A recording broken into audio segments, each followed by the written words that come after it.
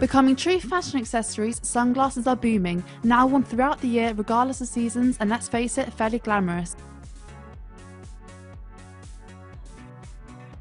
Big fashion houses propose their own version, seeking not only quality but also originality.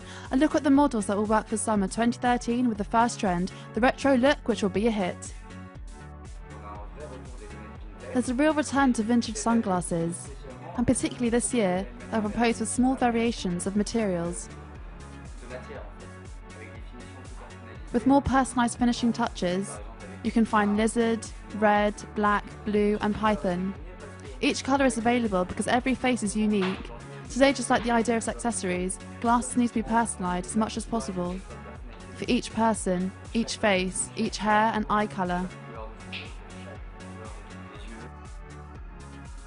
It's true that colours are very present, particularly natural tones around white, beige, pink and copper, warm tinted glasses.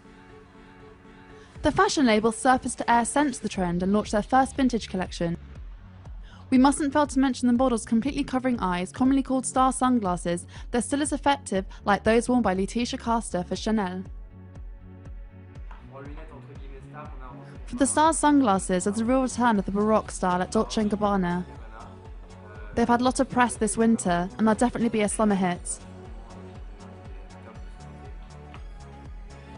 For men, sunglasses follow the same trends with an even more glitzy side.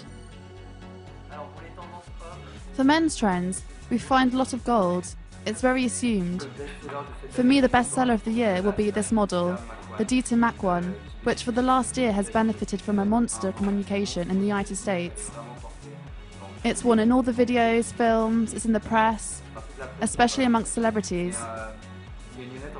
They are sunglasses that are sublime, and it's a combination of gold and acetate.